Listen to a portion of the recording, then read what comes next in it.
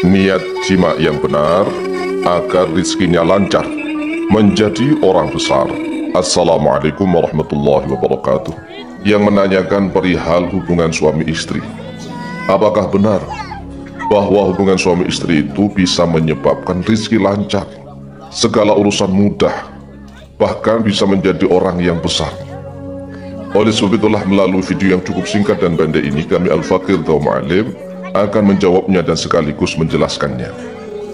Jawabannya adalah benar. Benar sekali bahwa hubungan suami istri itu mampu menyebabkan rizki sangat lancar luar biasa. Bahkan segala urusannya akan dimudahkan oleh Allah Azza wa Jalla menjadi orang-orang yang besar di hadapan Allah juga di hadapan para manusia.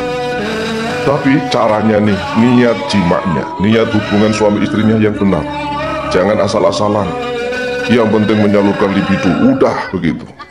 Di saat suami istri ingin melakukan hubungan, ya udah hubungan saja begitu. Tanpa didasari dengan niat yang benar. Oleh sebab itulah, apabila kita melakukan segala sesuatu, ingat, niat yang benar. Niat yang benar ini lebih baik daripada amal perbuatan kita. Karena ada suatu hadis yang menerangkan bahwa niatul mukmini khairun min amalihi. Niatul mukmini niatnya orang mukmin khairun yaitu lebih baik min amalihi daripada amal perbuatannya. Kalau niatnya salah, maka amalnya bisa salah. Sebaliknya, kalau niatnya benar, maka amal perbuatannya benar. Sedangkan hubungan suami istri, walaupun niatnya salah nih, tetap mendapatkan pahala.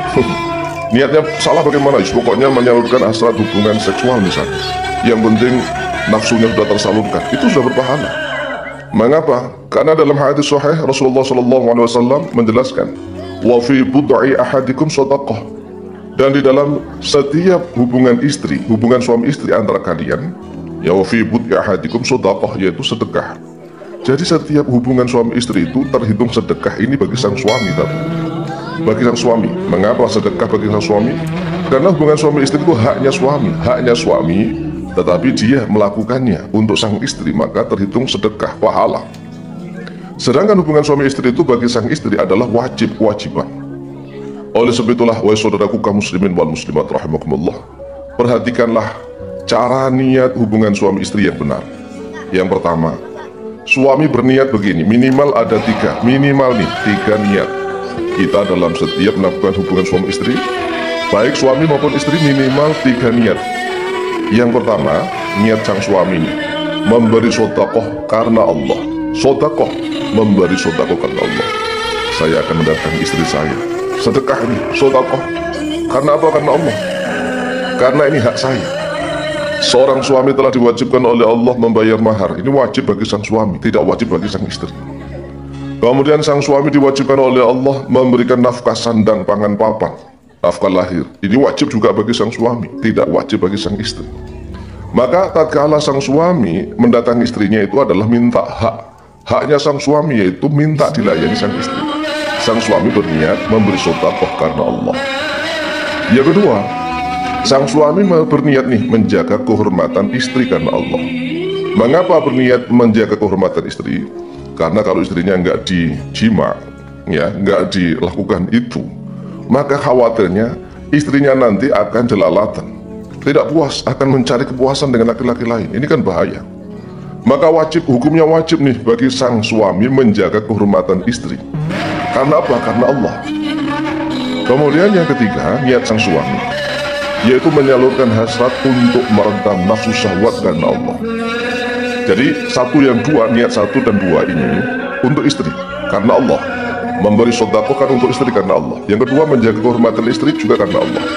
Yang ketiga ini untuk menjaga dirinya sendiri, yaitu menyalurkan hasrat untuk meredam nafsu syahwat karena Allah. Kalau tidak disalurkan sedangkan dia masih normal, ini bahaya. Maka harus berniat menyalurkan hasrat untuk meredam nafsu syahwat karena Allah. Kemudian niat sang istri. Istri berniat Istri berniat yang pertama menjalankan kewajiban karena Allah. Ingat bahwa hubungan suami istri itu adalah kewajiban sang istri, haknya sang suami. Maka ketika sang istri melayani sang suami, dia berniat menjalankan kewajiban karena Allah. Wajib. Kalau kewajiban tidak jalankan maka dia akan dilaknat oleh para malaikat yang namanya wajib dan enak berpahala. Masya Allah luar biasa. Makanya pahalanya lebih besar daripada sholat-sholat sunnah walaupun selama malam suntuk. Karena melayani suami itu wajib, sudah wajib enak luar biasa. Inilah syariat agama Islam. Kemudian yang kedua, sang istri berniat menyenangkan hati suami karena Allah. Idkhal surur.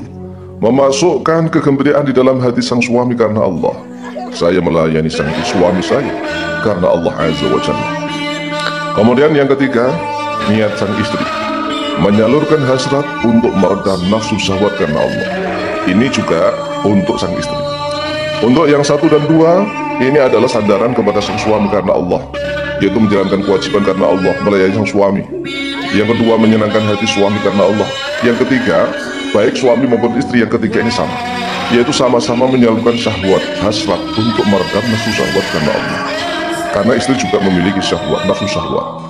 Kalau dia sudah melayani suami, kemudian sampai terpuaskan, kan sudah lemes nih, ya kan? Sudah lemes, sudah puas, tidur bisa pulas, pagi-pagi bisa kerja dengan semangat, nyapu, nyapu rumah juga semangat, nyuci piring, nyuci pakaian semangat, senyum-senyum luar biasa. Demikianlah jawaban kami, semoga bermanfaat. Wallahu ta'ala.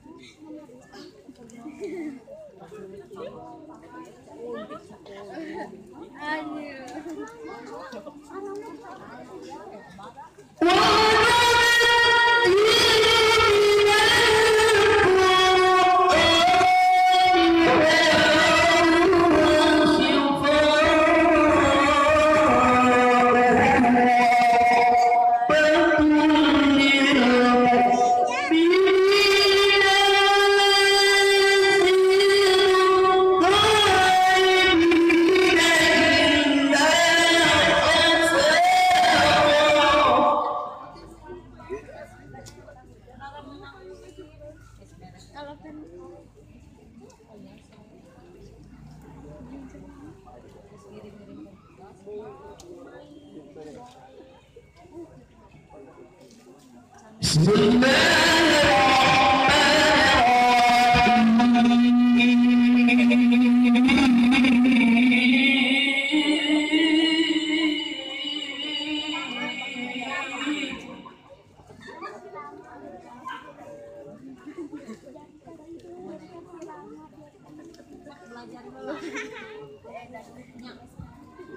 え?